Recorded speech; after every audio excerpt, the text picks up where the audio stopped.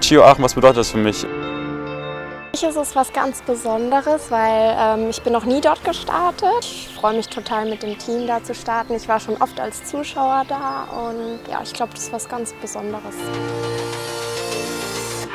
Definitiv die äh, perfekte Organisation. Alles ist von vorne bis hinten durchgeplant.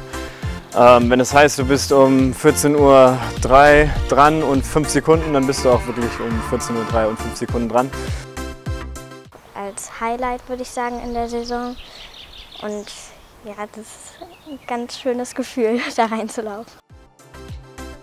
Also da ist immer Top-Stimmung, rappelvoll die Bude, Sonntags-Nationenpreis. Das äh, macht schon sehr viel Spaß.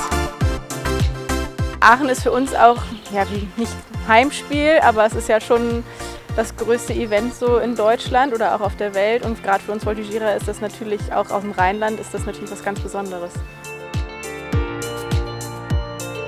Das ist von der Organisation und einfach von der Atmosphäre äh, doch besser als mein Championat oder Deutsche Meisterschaft. Das ist eigentlich das, wo jeder Voltigierer, glaube ich, von träumt, irgendwann in seiner Karriere mal einzulaufen.